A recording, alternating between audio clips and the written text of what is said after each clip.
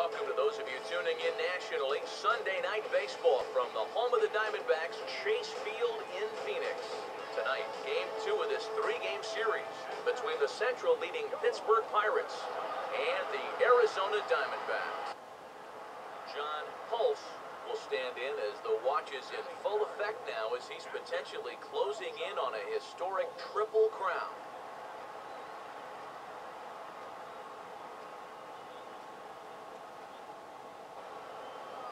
Here's the first pitch to him.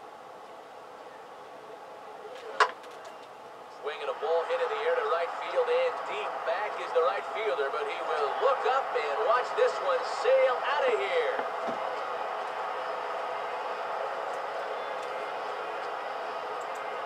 A solo shot here to straightaway right field.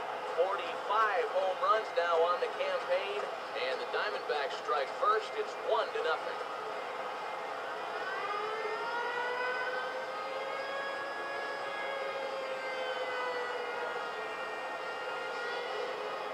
Wow, he has proven to be a real nuisance in the first two games of this series. A home run in last night's ball game, and now another one here.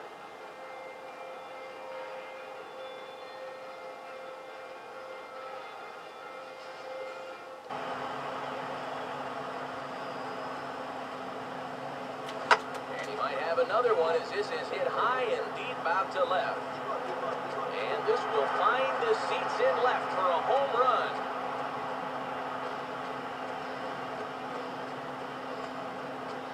It's a two-run shot to straightaway left, his second of the game, and it gives the Diamondbacks a three-to-one lead.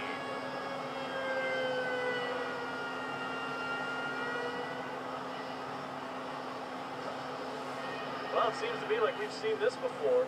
His second home run of the ball game, and it would seem to me that he hit that one harder than he did the last one. So he's definitely locked in.